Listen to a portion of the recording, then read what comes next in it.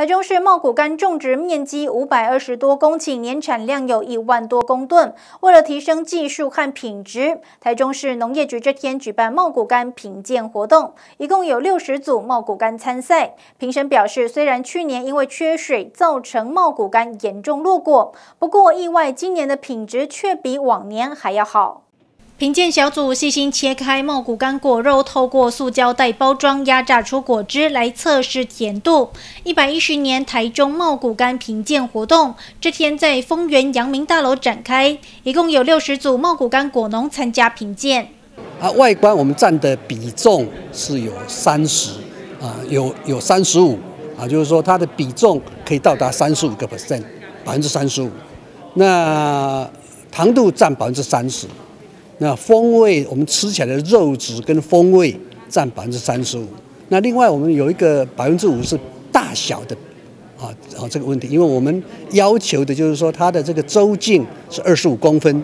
哎，我们讲的所谓的比重哈，拿起来重重的表示它的汁多哈。那另外就是呃表皮哈是不是有受伤哈？因为有有的是呃会有风疤等等的少部分的缺点。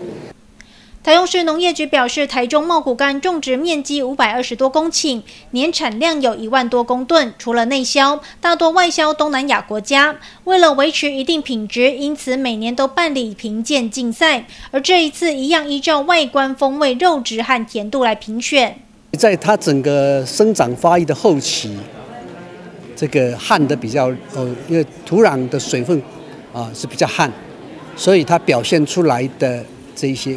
外观啊瑕疵就比较少，另外一个就是说它旱，那我们绝对晓得它的品质也会比往年更好。今年茂关的品质相对的，因为雨量少，所以呢相对品质都非常的呃好吃哈啊那价格平稳哈。